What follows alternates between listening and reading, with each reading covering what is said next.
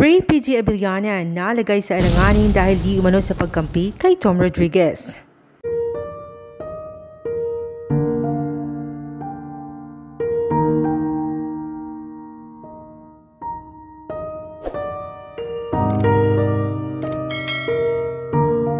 Welcome back sa ating short update mga kachika. Tila naging mitya ng usap-usapan ngayon ang pangalan ng aktor na si Ray PG Abiliana.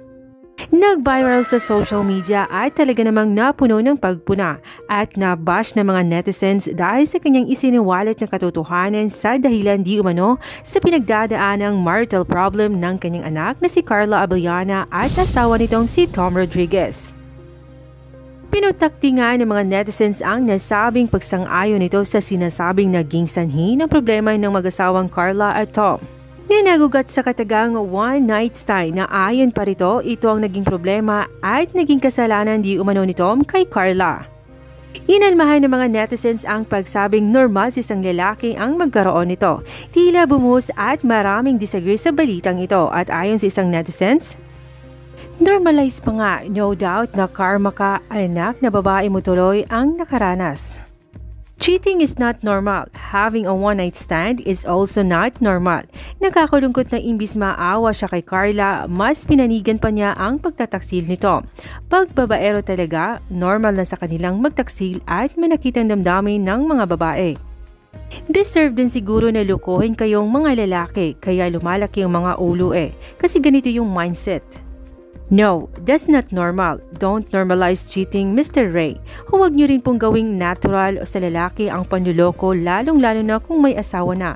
It will never be normal, natural. Ang natural lang po sa lalaki ay yung magandahan, mas sexihan sa isang babae. Dahil ang mga lalaki talagang appreciative, pero may kasama ng pagnanasa, pakikiapid sa hindi mo asawa ay kailanman hindi normal, natural. Mortal sin po iyon, Sir Ray. This is what I hate about our culture. We heard this from Robin Padilla rin when he talked about Alger cheating. Normalized din ito sa okay lang mag-cheat kasi lalaki and mga babae force naman na tiisin lahat para sa pamilya. Double standards. I feel so sad for Carla. Nanggaling pa talaga sa tatay niya. instinct Rommel ay magtanong na po at kumurot sa relasyon ni na Tom Rodriguez at Carla, di ba? Eh, nagpakatotoo naman itong si Ray, hindi po nagmaramot at sabi nga niya, mga sasabihin niya, sumpaman sa Diyos ay puro katotohanan lamang. Eh, syempre po, nagsalita nga si Ray tungkol dun sa one night stand. Oh, eto na yung mga marites, grabe na. Kani-kanya na silang ano, at kani-kanya na sila ng paghusga na eh, ayaw mo siguro talagang magkabali ka ng anak mo at manugang mo. Kinakampihan mo pa si Tom sa one night stand. Napakalinaw po, napakalinaw po mga kapatid ng sinabi ni Ray Abellana. Sa kanya ay hindi tama yon pero nangyayari talaga sa isang lalaki. Totoo. Di ba? Mm-mm. Di ba, Romel? Real talk lang naman ang sinabi ni Ray PJ Abellana sa sinabi niya, hindi naman siya nag-opinion ng ang opinion niya ay opinion ng isang tunay na lalaki na pinagdadaanan ang lahat ng ganong sitwasyon. At posibleng lahat ng may karelasyon na pagdaanan yun, real talk lang po tayo, wag ho tayo Mm-mm. magmalinis, sabi nga, diba? Yes, totoo yan.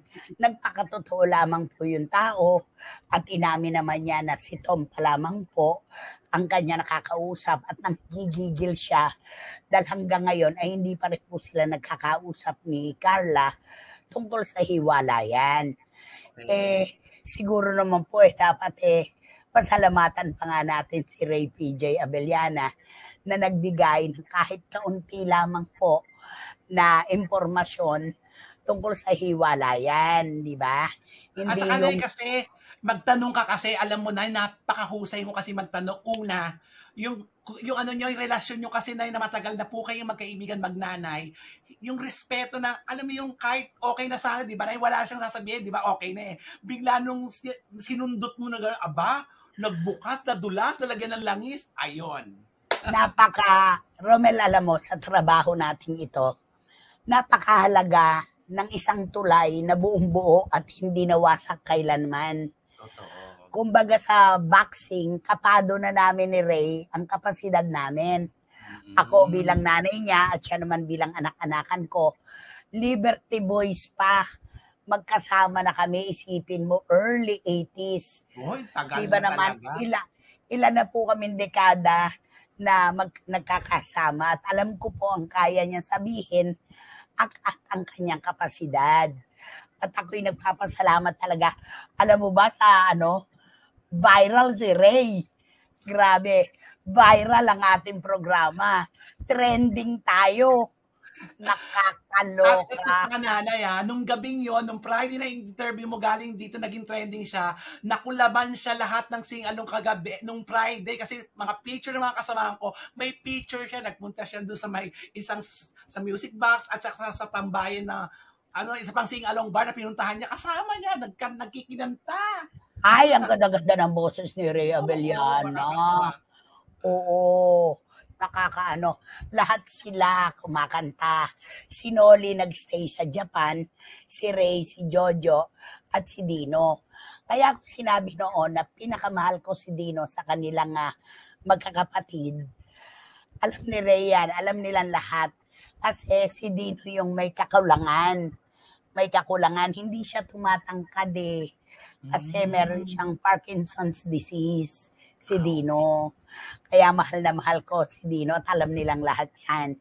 Kaya, yun po, yung mga ganitong tao na nagpapakatotoo, yung nagbibigay po sa atin ng impormasyon na ang tagal-tagal na nating hinihintay.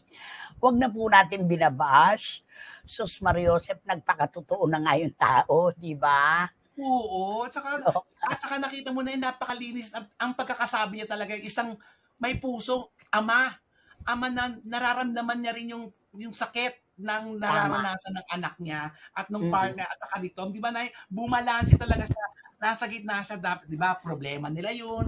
At Dapat saka sila- hanggang sa huli, Romel, sinabi niya, hindi ko po directly sinasabing hiwalay na talaga sila. Dahil ako po ay umaasa na sana isang araw ay maiayos din nila ang kanilang problema. Correct. Andun, andun yung hope niya na talagang isang araw magkaayos yung mag-asawa. Kasi walang magulang